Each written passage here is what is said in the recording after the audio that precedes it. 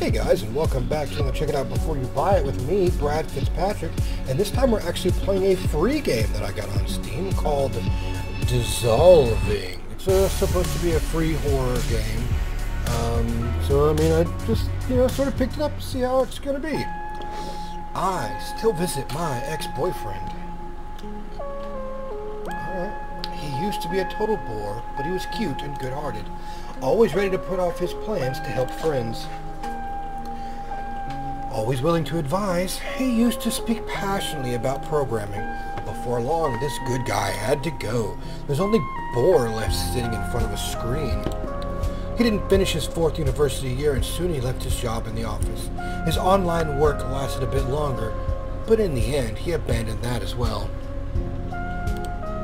He dwells in a decrepit flat in a bad neighborhood, a generous gift from his parents. They're quite rich, so I guess it's not a problem. That's how he lives. Alone. No job, no friends, no interests, only endless arguments with people on the net. Well, I'm not really sure if they're even people or not. How else can anyone be stuck there for that long? It's possible he's been desperately arguing with bots, algorithms, simulating neural networks. All in all, I felt a kind of responsibility for his situation. Some time ago, I decided to be close to him. Funny, I don't hold on to the past, but to my decisions. The last time I was there, he was staring at his screen even more languid, pale, and thin than usual. Sometimes it seemed like his routine was starting to blur, just like a ghost. A rough sketch on the fabric of reality, he was unusually nice when having a free moment from his screen. Even gave me an envelope containing cash for my birthday, which was last month. The sum was quite significant, and the best explanation from him was a shrug of his shoulders. Ugh, nothing. Just found my thing. It's been over a month since then. I'm here visiting him again. The same elevator still out of service, the same stairs, the same music in my headphones, dim and deep, yet beautiful doom metal, a great fit for this old hall. He replied okay to my messages about visiting. I pressed the doorbell. It takes some strength, like the bell hasn't been used for some time. Nothing. He's not home? It's a weird shirt. Weird. I can't imagine him being outside. Was that him? Again? I'm coming over in two hours, okay? Yeah. Come in. The door's open. Wait. In the living room. Busy. ATM. What? He didn't forget how to walk, did he? There was a certain SP episode. Suddenly I'm not too keen to come inside. I pull the handle. The door opens, heavily and creaking.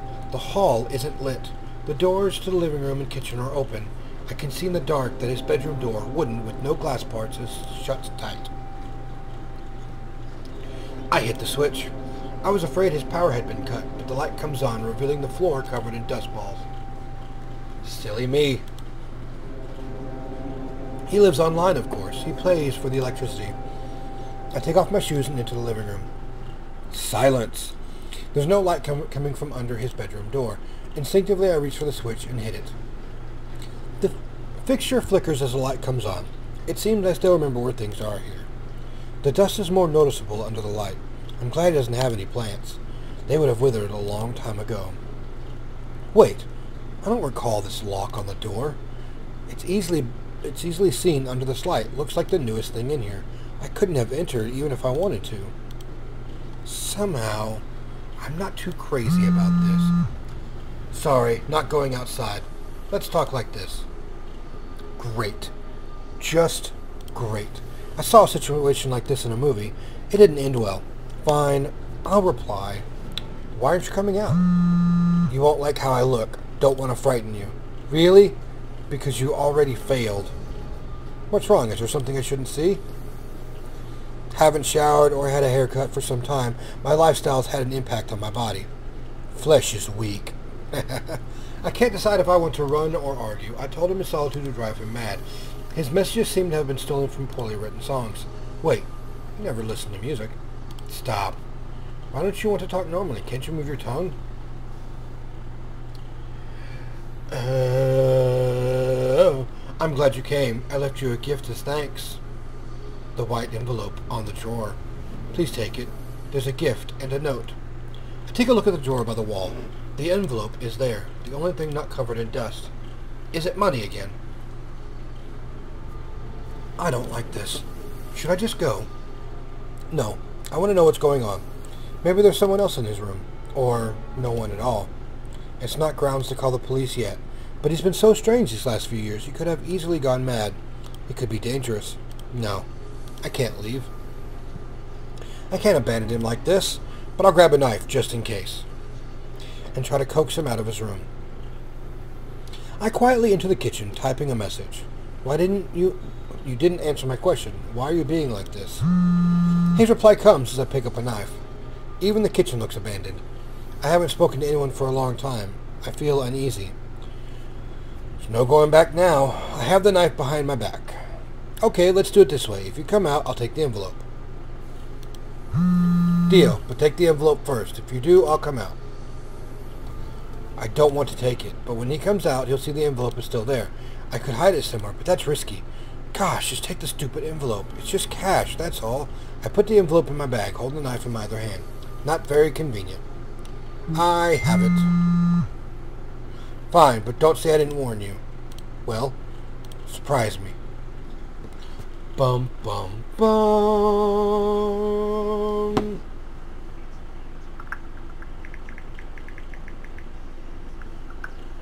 And still nothing?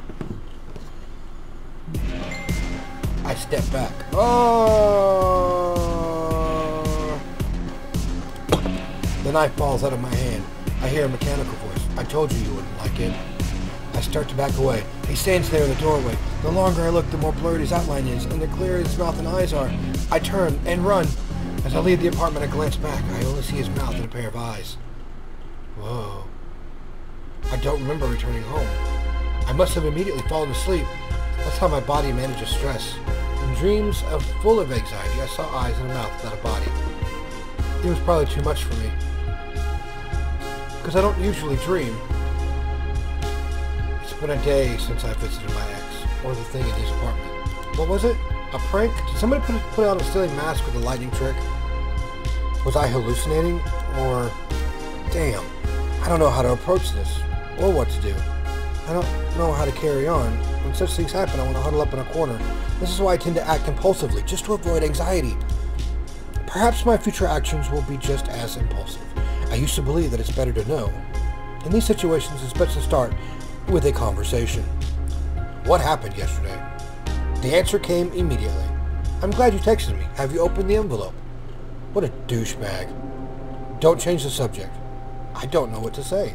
Think harder then. Okay, what happened to your body? Uh...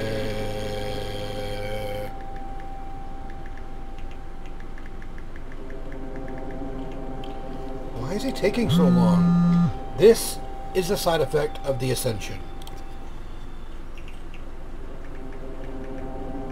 The hell are you talking about? What Ascension? Where? I've been in a ton of arguments online. I met someone there. We started a mutually prof profitable partnership. I provide them with food, and in return they help me transform and solve some issues. They will probably reach out to you soon. They enjoyed our chat.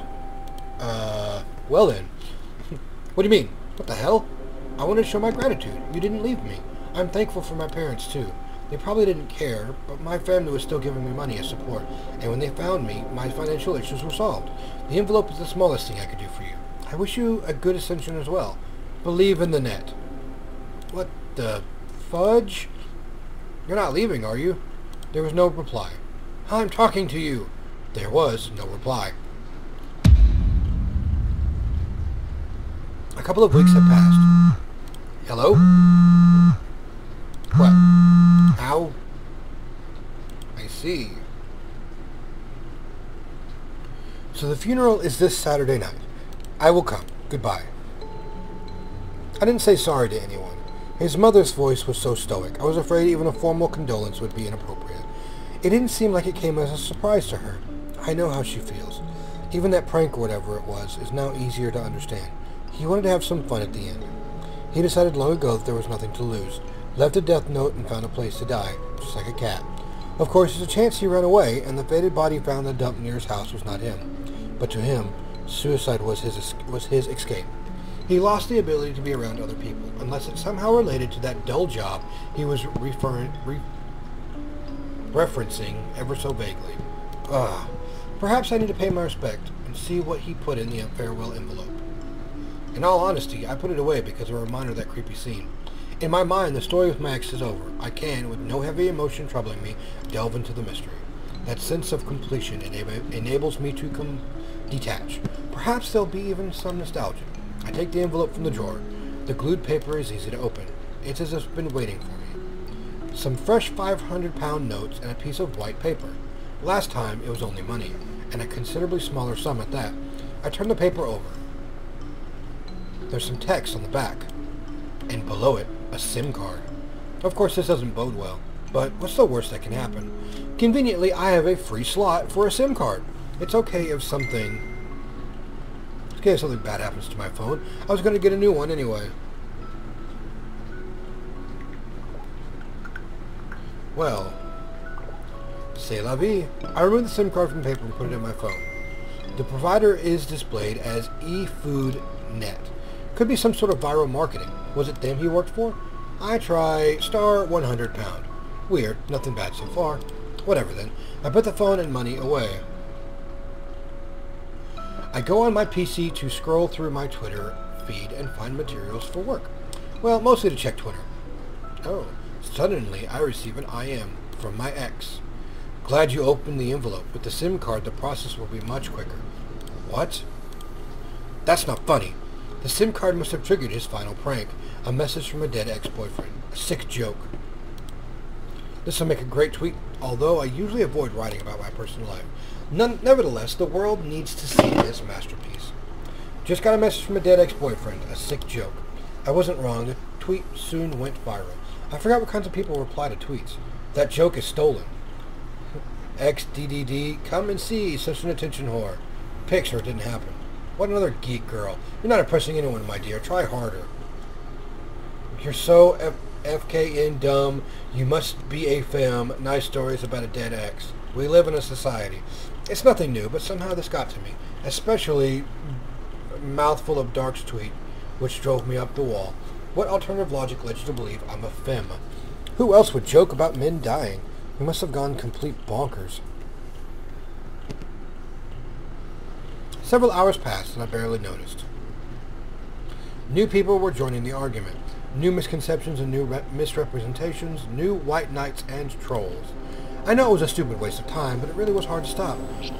Another opponent will bite the dust under ce- celebratory cheers of the crowd. Is this how gladiators felt too? Not sure about gladiators, but this must be what my ex felt. People argue with strangers to get the slightest semblance of feeling, writing terrible insults to get the smallest reaction. Join us. Oh, look at the screen. I didn't notice that. Eternal life. Freedom from physical needs. Sleep, food, excrement. They are no longer required. Join. Believe in the net. In this world, we only exist on the net, but we rule the net. This is our kingdom. We can give you anything on the net. We create money, change databases, rewrite history. We can change the world order if we want to. You will be one of us. We only need food in return. Your emotions. Those sweet, spicy, bitter things that you pour onto the net. That you create on the net. Out of thin air. Out of nothing. Something red Russian?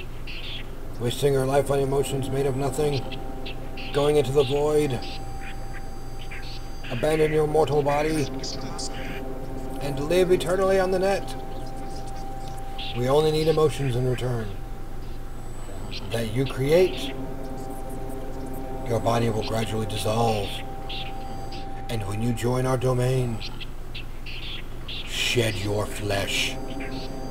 Leave it to rot. We see potential in you.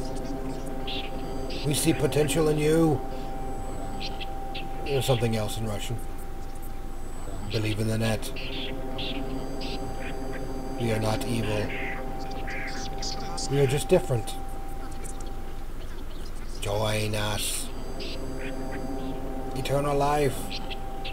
Wonder how long this loops. Freedom from physical needs. Yep. A validation of their achievements. I don't like the idea of becoming that. On the other hand, you only need to take it in moderation. Online communication. Whatever anyone says can help you offline. You can learn good lessons. And it's also interesting to compare people online and in real life. Then it has, uh, that has, it has one's essence, I would say. All that remains is text devoid of imitation. Text only representation of thoughts and feelings. That's what I find interesting about it. But still, stop. What is this? Bloody hell. I jump away from the screen and plug the PC. What the devil? I try to catch a glimpse of my reflection. I scream. Ah! I run to the phone and take out the SIM. Throw it on the floor and crush it. I put the remnants with some paper in a cup and set it on fire. It smells terrible, but I don't care. There are only ashes left. I throw them in the trash duct. I get rid of my PC along with all its data. I start collecting work materials from scratch on a new PC. I wanted to throw the money away, but I'd rather donate it to the church. The next day, my reflection was back to normal. A day completely offline. But after a few months, I think I'm ready to return to Twitter. I even created a new account. My Endless Song. After everything that happened, I know this is silly, but I miss talking to you, Rituals. I miss having a place to share my thoughts and get feedback. In the end, I forced myself to go to the funeral. A sight as pitiful as his last years. Not sure if I'm going to visit my ex-grave. Oh, okay. I did. You didn't click on the monitor. Was I was I supposed to? I guess. Hey, I guess that's the. Uh, I guess that's a, a ending.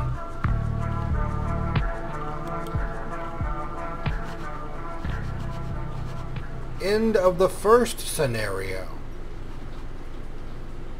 Oh, there are multiple scenarios. Interesting. What is this eye? Does eye do anything? Huh. All right, so I guess there are multiple scenarios. Well then, well then, guys, I'm going to go ahead and leave this here. A little short and sweet little text adventure, uh, but it's pretty interesting. But all right, guys, hopefully you enjoyed it.